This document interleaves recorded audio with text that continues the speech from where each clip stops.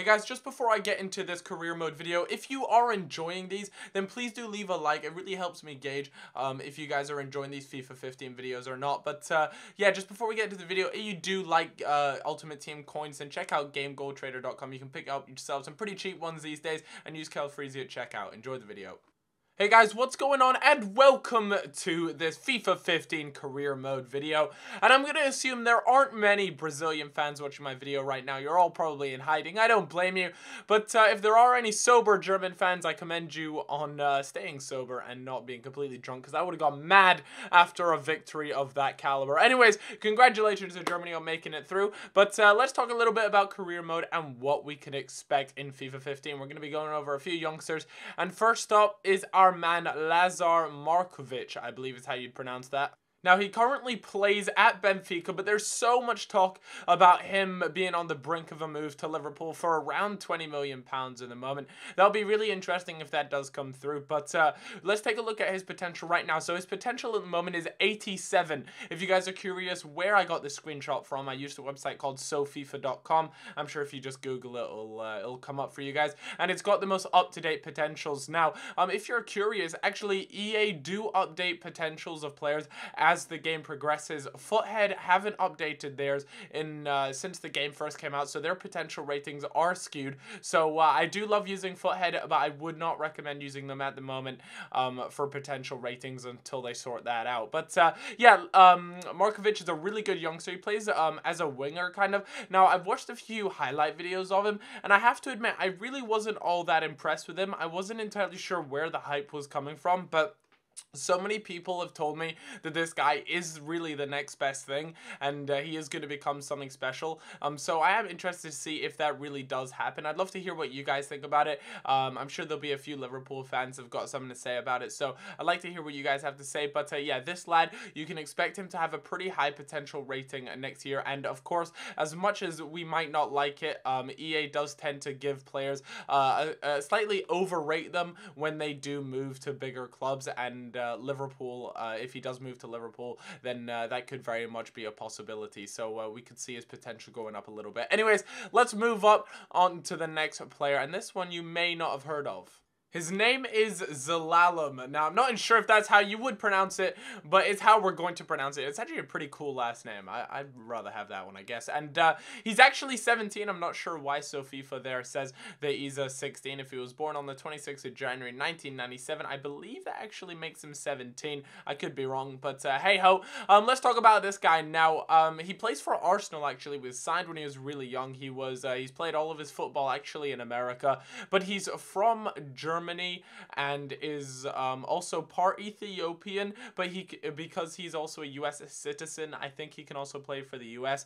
And uh, Jurgen Klinsmann, Klinsmann, the U.S. Uh, national team coach, actually tried to get him to pick uh, pick USA uh, as his national. Um, as his nationality, so he could take him to uh, the World Cup or uh, you know make him a uh, USA player, anyways. And uh, I don't know which one he chose. According to SoFIFA, it looks like he chose Germany, but uh, yeah, he had all those options available to him. So that was a pretty interesting thing that he had going on. And uh, yeah, let's talk a little bit about him now. he actually has played in the um, Arsenal first team. He's a really young guy, as you can tell. You know, 17 years old, but he played out in the tour the when Arsenal Go out in their Asia tour last year. Um, he played there, and uh, Wilshere had nothing but praise for this guy. Said he was really good technically on the ball. He can play really well with both feet, and uh, yeah, so they had nothing but praise for him. And there's quite a few different stories about um, what happened when he went to uh, trial, pretty much for Arsenal. That uh, you know, uh, as soon as he saw the lad play, went over. Uh, Wenger went over to uh, his dad and was just like, "Your son will be an Arsenal player." But you hear all those sort of stories all the time, and yeah, I'm not too sure how much of him I believe. But uh, at the moment, his uh, potential is 81, obviously being really young. There's quite a difference between his overall rating and potential, but it really wouldn't surprise me, especially if this guy starts to get more first team action, then uh, you'll see his potential go up to something like an 83, 84. And, uh, you know, if he does perform well in those uh, first team opportunities, then you can see that going even higher. So, uh, yeah, that's going to wrap it up for this lad. Let's move on to the next one. Next up is this Belgium superstar. Well, I don't want to call him a superstar. He's obviously very young. He's 18 years old, um, and his name's Origi. He has just played magnificently for Belgium in the World Cup. Um, this guy is lightning quick as well. He is really, really fast. Anyone who's been watching the World Cup, or more specifically, have been watching Belgium, then you will have seen this guy play at um, certain points during the World Cup, and he was really impressive for me. I really liked uh, what he had to, to offer. I believe he currently plays for Lille at the moment over in the French league, and he does pretty well. His stats aren't necessarily that amazing for the club, but uh, you know, from what you can see, especially only being 18 years old, he looks like someone who has a lot to prove. And uh, you know, and from what everyone's pretty much saying, especially around his World Cup performances, I really thought that he really made a name for himself as uh, you know a serious up and coming uh, striker. And uh, off the back of that, there's been plenty of interest from other clubs as well. Um, quite a few Premier League clubs had their uh, nose in to see what the deal was with Origi, and yeah, he looks like an interesting interesting player. It'll be uh, interesting to see if he does go to a different club or he just stays there, develops a little bit more, and then uh, moves on when he's a little bit better. But yeah, he has played very well for Belgium, and I'm sure if you're a uh, if you're from Belgium, you'd be very happy with the way he played um, throughout the tournament. So uh, yeah, that's gonna be it for uh, Origi there, and uh, let's see who we got next.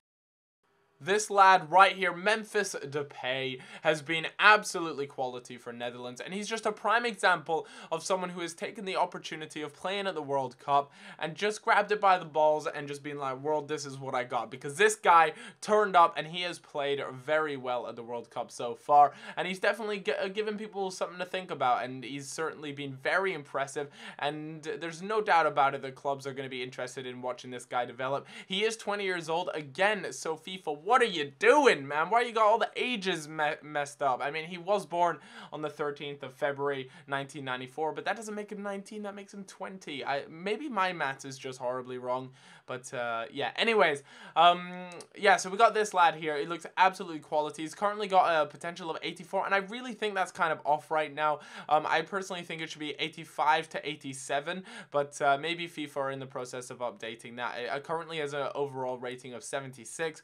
Again, again, I, I don't necessarily expect that to go up or down too much, but I think his potential should definitely be a little bit higher. He is very young and he's got uh, quite a while to go. But um, yeah, overall, he is uh, he's something to keep an eye out for, and he's an exciting player to watch develop. So let's move on to our final player of today's video. It's none other than the Englishman himself, Raheem Sterling, who, uh, if you've been watching the Premier League at all this season, chances are you probably saw him do something, um, especially when he's been playing for Liverpool. He's been really impressive, and as you can just see from his positions, he plays right wing, left wing, and cam. Um, he's really been deployed all around the pitch um, for Liverpool, and being a Liverpool fan, I certainly have uh, thoroughly enjoyed watching Raheem Sterling this season. He has been a real treat to watch, and he's definitely something for the future. He's been playing so, so well, and at times he's been Liverpool's best player. Um, of course, you got the, well, you had maybe the likes of Suarez in there, but Raheem Sterling had his moments of uh, brilliance, and he was so much fun to watch as well. And even in some of the English games in the World Cup, he was the only one that looked like he was actually doing something.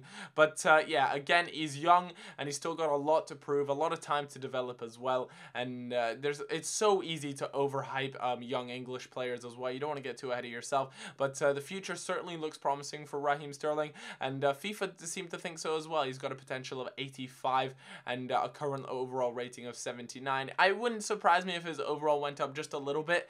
Um, not by much though. I, am talking possibly an 80, but uh, um, his potential uh, that might go up a little bit depending on how well his season goes um, in the in in the in the near future. And just so you guys know, uh, I kind of got something to admit to you all, and that is that I accidentally deleted my first career mode um, FIFA 15 video. I know I'm I'm literally a dumb motherfucker and I don't know what I was doing because sometimes um, if you don't correctly upload a video you have to delete it and I just accidentally deleted it. So I apologize if you're trying to look for my video. I did um, uh, what was it yesterday or two days ago? Um, you're not going to be able to find it. It's not uh, you know it's not it's not lost. I just accidentally deleted it.